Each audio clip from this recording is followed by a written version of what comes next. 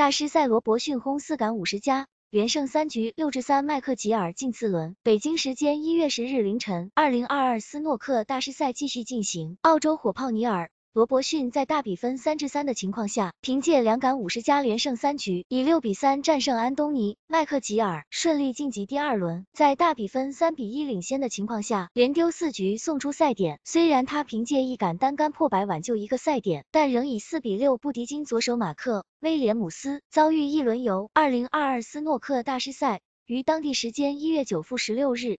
在英国伦敦亚历山大宫举行，该项赛事是2021年2月022赛季世界斯诺克巡回赛的一站邀请赛，也是三大赛中的第二项赛事。澳洲火炮尼尔。罗伯逊是作为五号种子出战本次比赛的，他在首轮中的对手是安东尼麦克吉尔，此前双方曾交手过十次，罗伯逊七胜三负占据上风。不过双方最近一次交手时麦克吉尔获胜。本场比赛采用十一局六胜制，前六局双方紧咬局分，战成三至三平。首局麦克吉尔抓住机会轰出单杆七十八分，以七十八至四先胜一局。第二局尼尔。罗伯逊凭借多次上手，以九十三至四十三扳回一局。第三局，麦克吉尔再次轰出单杆一百一十五分，以一百二十三至七，再次将大比分超出为二至一。第四局，尼尔罗伯逊也终于打出本场比赛个人手感五十加，以七十九至四十六，再次将大比分扳为二至二。双方进入中场休息，休息回来，第五局，尼尔